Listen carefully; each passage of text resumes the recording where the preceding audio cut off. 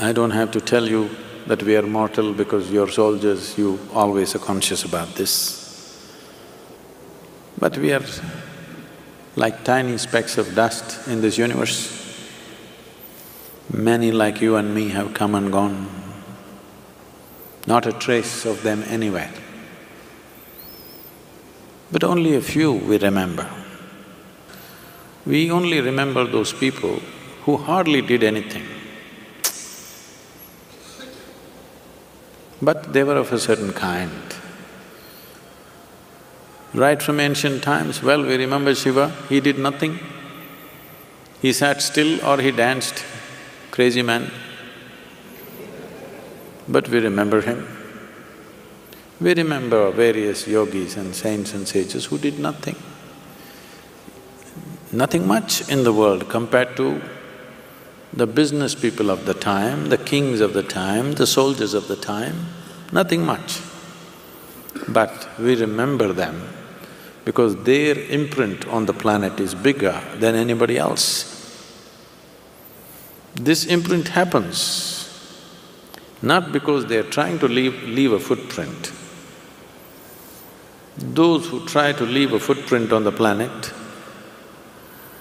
they will never fly.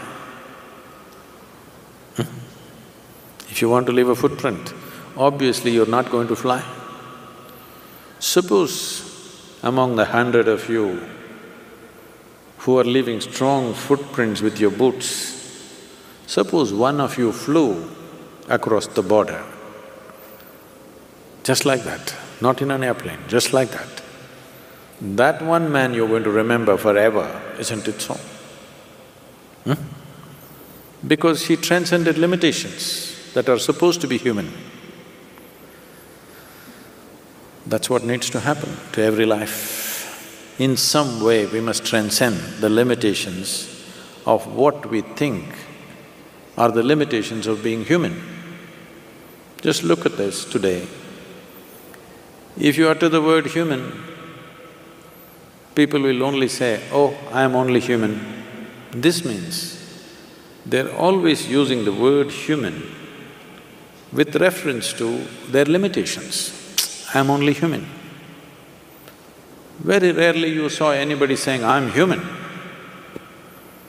not referring to the immensity of being human, always referring to the limitations of being human. What yoga means is, the word yoga means union. Union means there is you and if you look at it in a limited perspective, there is you and the other. But if you look at it in the larger perspective, there is you and the universe. You versus the universe. See, this is where the border is, not there. This is where the border is, me and the rest of the universe. Here there is a border. If you cross this border successfully, then we say you are a yogi, you become one with everything.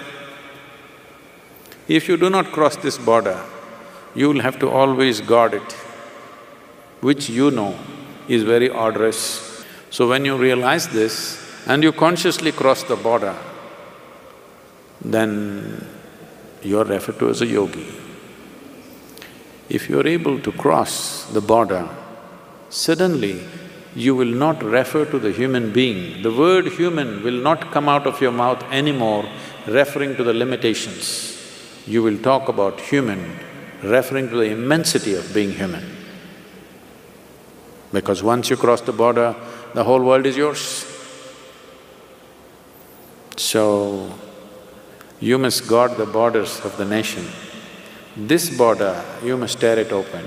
This is why you are here to do some yoga means to open up this border. This need not be guarded. That border unfortunately we have to guard because uh, people still in this world have not matured enough to live without a border. Hmm? We have not matured to that place where nations can live without border.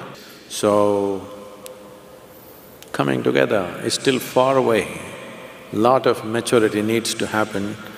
Uh, I don't believe it'll happen in our lifetime. So you have to guard the border That's the only way. and you were saying the peaceful, wonderful uh, yoga center? We are living very peacefully, wonderfully, because all of you are standing there on the border. Otherwise, we wouldn't be here peacefully, wonderfully. Thank you very much for being here.